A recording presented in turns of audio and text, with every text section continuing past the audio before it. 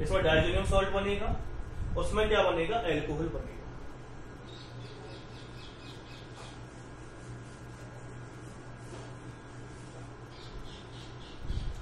तो आप जनरली एक पॉइंट नोट करें तो कपलिंग रिएक्शन डायजोनियम सॉल्ट देता है, एल्कोहल नहीं देता। यानी कि इस वाले केस में जो एजोडाइट टेस्ट है, उसे एलिफेटिक अमाइंस नहीं देंगे, उसे सिर्फ़ एरोमेटिक अमाइंस देंगे। क्योंकि एरोमेटिक अमाइंस में ही डायजोनियम सॉल्ट बनता है एलिफेटिक अमाइन में नहीं बनता, जो मैं आपको पहले ही बता चुका हूँ क्यों नहीं बनता? क्योंकि इसमें रेजोनेंस स्टेबलाइजेशन होता है, उसमें रेजोनेंस स्टेबलाइजेशन नहीं होता। अगर मैं इस रिएक्शन को आगे प्रोसीड करना चाहता हूँ तो प्रोसीड कैसे होगी वो समझो। C H three O H की अगर मैं बीटा नेप्थॉल के साथ रिएक्शन करवाता हूँ तो वो पॉसिबल नहीं हो पाएगी। और आप जानते क्यों नहीं हो पाएगी? बेसिक मीडियम आपने ले लिया नहीं हो पाएगी। लेकिन अगर मैं इसी रिएक्शन को एरोमेटिक अमाइन के साथ करवाता हूँ N double bond N double bond आ जाएगा सीएल आ जाएगा। नेगेटिव इसके साथ अगर बीटा नेप्थॉल की रिएक्शन करवाता हूँ तो इसमें रिएक्शन पॉसिबल हो सकता तो रिएक्शन पॉसिबल होगी तो क्या बनेगा? एन डबल बॉन्ड एन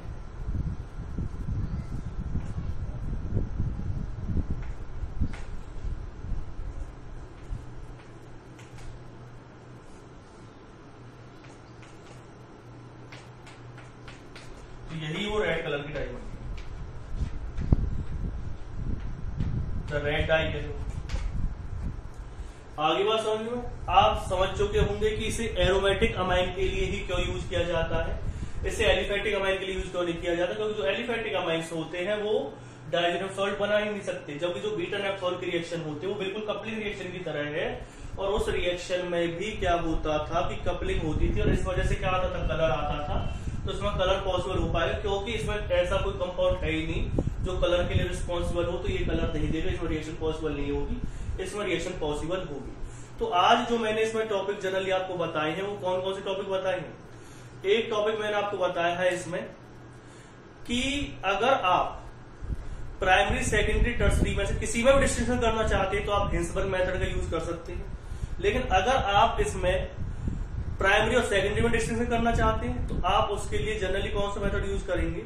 उसके लिए आपको जो मेथड यूज़ करना, वो यूज़ करना है कार्बोनामाइन टेस्ट आपकी मर्ज़ी है, अगर आप प्राइमरी सेकेंडरी में करना चाहते हैं तो हिंसबर्ग टेस्ट यूज़ कर सकते हैं। अगर आप एलिफेटिक और एरोमेटिक अमाइन में डिस्टिंक्शन करना चाहते हैं तो उसके लिए आपको जनरली जो मेथड यूज़ करना पड़ेगा। डिस्टिंक्शन के लिए वो यूज़ करना पड़ेगा। एजोडाइट टेस्ट आप कपलिंग रिएक्शन भी कर सकते हैं उसमें और एजोडाइट टेस्ट भी कर सकते हैं। कोई सा भी आप अगर करना चाहते हैं, दोनों ही सही है सीबीएसई के अकॉर्डिंग तो आप जिसको करना चाहेंगे वो आपके लिए एक्यूरेट अगर हम जनरली नेक्स्ट पॉइंट पर आने की कोशिश करते हैं तो नेक्स्ट पॉइंट अब क्या कहता है? एक टॉपिक और रह गया था एसिटाइलेशन रिएक्शन तो ऐसी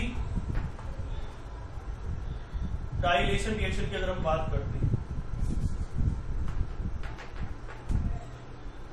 अगर एसिटाइलेशन रिएक्शन की अगर हम बात करेंगे, वैसे तो मैंने आपको रिएक्शन करवा दी थी, लेकिन किस तरह से हो रही है वो मुझे आपको, मैं आपको बताने वाला था कि रिएक्शन किस तरह से हो। तो एसिटाइलेशन रिएक्शन आप चाहें तो इस तरह से कर सकते हैं। एनएच टू ग्रुप दे रखा है।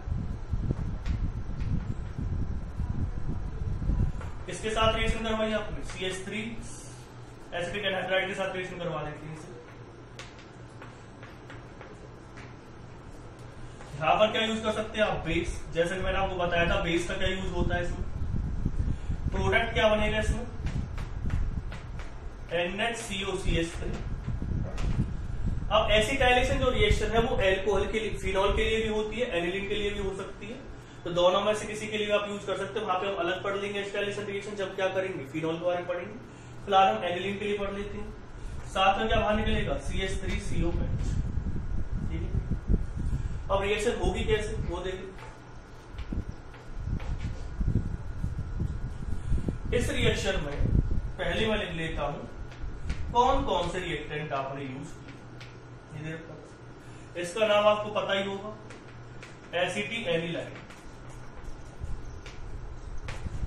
C S three CO की ट्वाइस से अगर हम रिएक्शन करेंगे तो थोड़ा सा कंप्लीट फॉर्म में लिख लेता हूँ C H three C double bond दो ओ सी डबल बॉन्ड दो सी एच थ्री ये लॉन पेयर ऐसी कार्बन को ढूंढ रहा है या किसी तरह काम करेगा? न्यूक्लियोफाइल अब न्यूक्लियोफाइल तो ऐसी कार्बन पर अटैक करता है जहाँ पे इलेक्ट्रॉन डेंसिटी क्या होगी?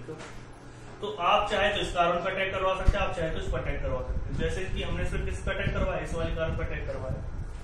तो रिएक्शन कैसे होगी वो देख लीजिए, पहले आप इसकी रिएक्शन लिख लीजिए एसिटाइलेशन ज़्यादातर सभी नेमिंग रिएक्शन सीबीएसई लेवल पर आपकी मैंने करवा दिया माइंस ये चैप्टर 95 परसेंट कंप्लीट हो चुका है सीबीएसई लेवल पर। 5 परसेंट मैं क्यों कह रहा हूँ?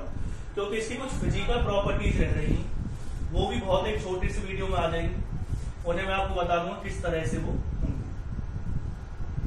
तो आपने ये लिख रखा है, ये कंपाउंड बना। तो इसमें क्या क्या बनेगा पहले वो देख। हमारे सामने इसमें जो इस तरह से कर देता हूँ एन एच एच इसमें कैसा चार्ज आएगा? पॉजिटिव फिर क्या आएगा? सी ओ नेगेटिव यहाँ पे नीचे देख लेना सी एच थ्री लगा हुआ ओ फिर क्या आएगा? C double bond O C H three ठीक है? एक चीज़ तो ये कि जो भाई हाइड्रोजन है हाइड्रोजन का क्या पढ़ रखा आपने? जो हाइड्रोजन जनरली होता है नाइट्रोजन के ऊपर पॉजिटिव चार्ज आ रहा है तो हाइड्रोजन अपने इलेक्ट्रॉन दे करके जाएगा। अब एक चीज़ आप समझना कि यहाँ से ये ग्रुप निकल जाएगा और ये क्या होगा इसमें रिमूव क्योंकि C S three C H क्या होता है? एसिड होता है।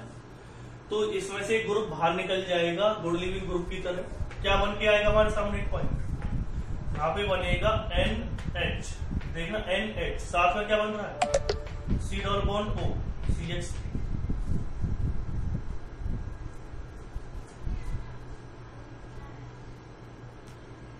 C double bond O C H three ठीक है यही तो जा रहा है। और साथ में क्या बन के आएगा? C H three C O H क्योंकि यहाँ पर C H three C O negative निकलेगा, एक एच पॉजिटिव यहाँ से निकला तो रिएक्शन इस तरह से होगी। इसकी कैसे रिएक्शन हुई है? हाइड्रोजन ने अपने इलेक्ट्रॉन किसको दे दी नाइट्रोजन को क्योंकि इलेक्ट्रोनेगेटिव आइटम के ऊपर पॉजिटिव चार्ज स्टेबल नहीं होता। क्योंकि ये group living good living group है। तो गुड लिविंग ग्रुप होने की वजह से ये आराम से बाहर निकल जाएगा। वो आपने देख लिया कैसे बाहर निकलेगा। और इसमें लास्ट में प्रोडक्ट इसमें बनेगा। तो वही प्रोडक्ट मैंने आपके सामने लिख दिया। तो आपकी एसिटाइलेशन रिएक्शन भी मैंने कंप्लीट करवा दी। तो मोस्टली आपकी सभी रिएक्शन इसमें हो चुकी हैं। सीबीएसई लेवल पर। तो करें इस चैप्टर को आप कंप्लीट और मुझे अपने व्यूज़ बताएँ कि किस तरह से आपको लगा इस चैप्टर में, क्या क्या दिक्कतें आपको आई। एनसीआरटी के सभी क्वेश्चन कर लीजिए आप। जो भी दिक्कतें आती है कन्वर्जन पे अभी हम थोड़ी देर में फोकस कर लेंगे। बाकी कन्वर्जन कुछ तो हो जाएँगे, कुछ कन्वर्जन अभी आपको रिड्यूसिंग और ऑक्सीडाइजिंग एजेंट पता होने के बाद ही हो पाएँगे। उसमें मैं कोशिश करूँगा।